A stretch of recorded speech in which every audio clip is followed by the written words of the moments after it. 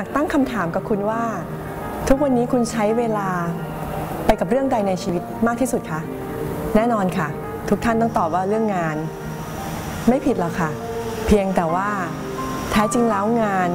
ไม่ได้เอาเวลาทั้งหมดของชีวิตของคุณไปนะคะ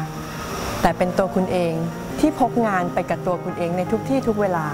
จึงไม่แปลกเลยค่ะ ที่ 80 กว่าเปอร์เซ็นต์ของคนบนโลก รู้สึกเครียดกับการทำงาน จะดีกว่าไหมถ้าหากว่าเราสามารถทำให้งานเป็นเรื่องที่เรารู้สึกผ่อนคลายและมีความสุขได้อย่างแท้จริง ในสัมมนา6ขุมพลังสร้างสุขในการทำงานมีคำตอบให้คุณค่ะ เพราะเราจะทำให้คุณสามารถที่จะมองเห็นตัวคุณเองได้อย่างแท้จริง ด้วยกระบวนการคิดและกระบวนการตัดสินใจ ที่ทำให้คุณกลายเป็นคนที่มี growth mindset ได้ ฟังไม่ผิดหรอกค่ะ mindset เป็นสิ่งที่เราฝึกได้อย่างแท้จริงค่ะ เราต้องยอมรับความจริงอย่างหนึ่งนะคะว่า เราไม่สามารถเปลี่ยนแปลงเพื่อนร่วมงานของเรา หรือบรรยากาศในออฟฟิศของเราได้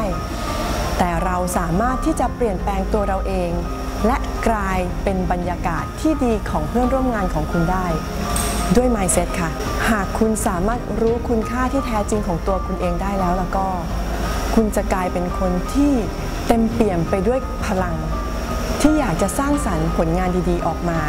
คุณจะกลายเป็นที่รักของทุกๆ คนได้ โดยง่ายเลยค่ะ